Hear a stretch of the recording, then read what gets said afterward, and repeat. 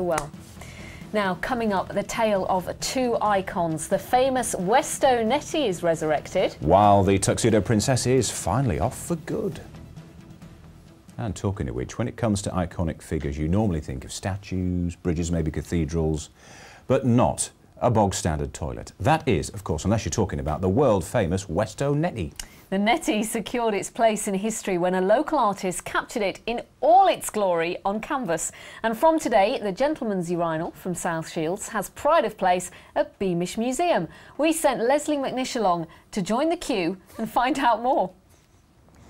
Visitors are encouraged to interact with nearly all of the attractions here at Beamish, whether it's a ride on a tram or what about buying sweets just as they did over a hundred years ago.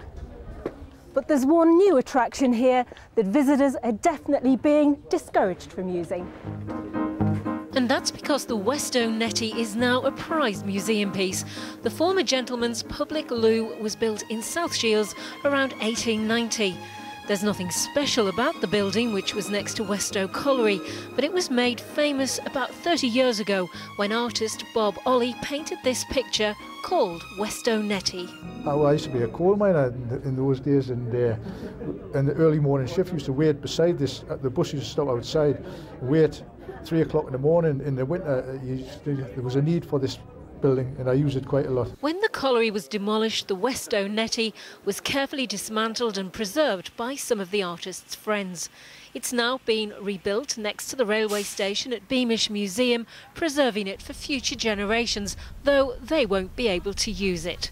Today, a group of actors recreated the painting to mark its official opening. We're not planning to use it. Nobody, unfortunately, can go and spend a penny in it, but that means that everybody, including the ladies, can go and visit it. well, when a girl's got to go, a girl really has to go.